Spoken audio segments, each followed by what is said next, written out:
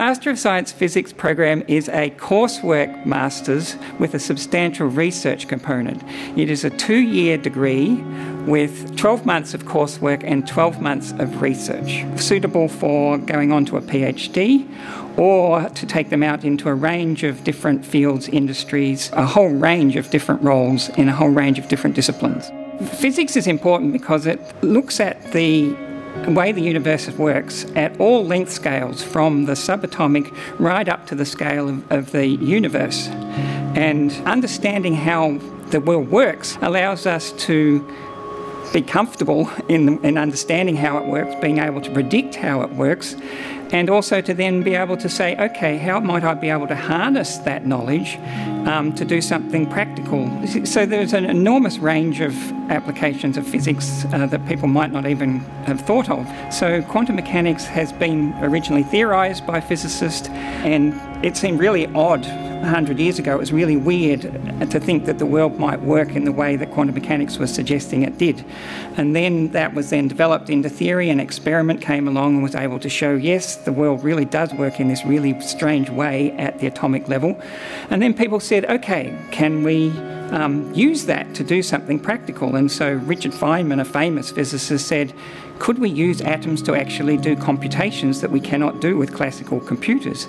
That's now a, a great area of research and companies like IBM are, are, building computers that work on quantum computing as a principle, and physicists are beginning to get to the point where those computers are able to start calculating things that uh, classical computers can't do.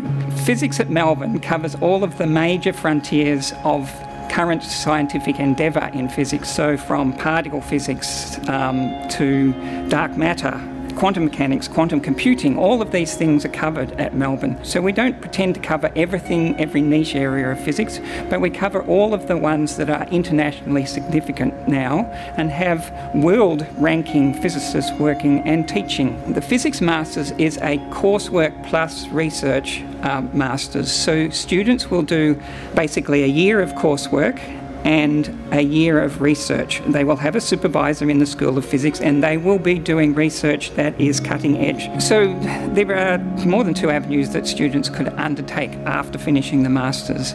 Um, they could go on and do a PhD and of course they're going to need to do, be able to do research for that. But if, if they go out into industry or consultancy, or if they become interns in government, for example, they are still going to have to have those research skills. They're going to have to have an inquiring mind, they have to have an analytical mind, and physics will give them those skills, and those skills are applicable to a whole range of different industries.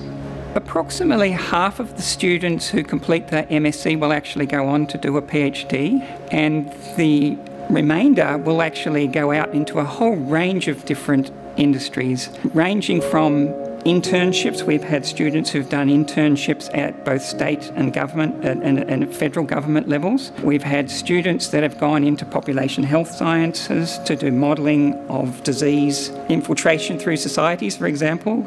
Um, we've had students go off to do meteorological modelling. There's a whole range of different outcomes, and they need those research skills to be able to function in those industries.